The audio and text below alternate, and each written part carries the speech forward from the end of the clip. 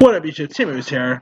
Paramount Pictures has unveiled trailer for the upcoming romantic comedy action adventure film, The Lost City, which is directed by um by Adam and Aaron Nee, who also is directing the upcoming uh, Master of the Universe film, by the way. So that's pretty cool.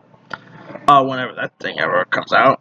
Anyway, uh, The Lost City stars Sandra Bullock, Channing Tatum, Daniel Radcliffe, Patti Harrison and Divine Joy Randolph with Brad Pitt appearing. And by the way, that little um, scene with Brad Pitt really cracked me up.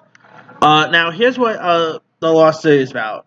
Brilliant but restless author Loretta Sage has spent her uh, career writing about exotic places in her proper romance uh, adventure novels featuring handsome cover male uh, model Alan, played by Tatum, who has dedicated his life to embody um, the hero character Dash.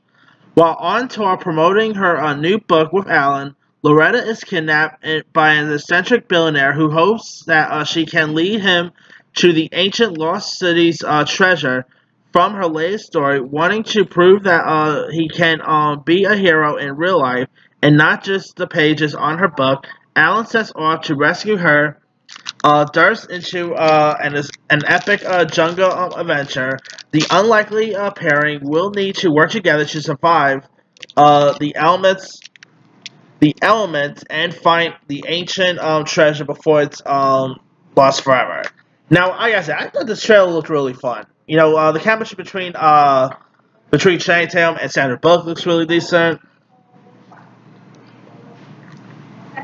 Now, I remember this was actually even supposed. To, I I literally remember that this was supposed to be a proposal reunion, by the way, because I remember like Ryan Reynolds was supposed to be starring this, and I guess that never really came to fruition. So now Channing Tatum um starring. That would have been cool seeing that proposal reunion. But hey, this looks really like it could be fun. Looks entertaining. The humor looks great. I think this movie could be intriguing to watch. So hopefully it'll be something decent. Um, the Lost City will hit theaters on March 25th of next year. Let me leave you guys. What did you know of the trailer for The Lost City? Did you like the trailer? Are you looking forward to check this movie out? Are you a fan of both Bullock and uh, Tatum? Do you like uh, Daniel Radcliffe's character in this? Drop comments below. Don't forget to like, subscribe, hit that bell for more notifications. This is Timmy Saya.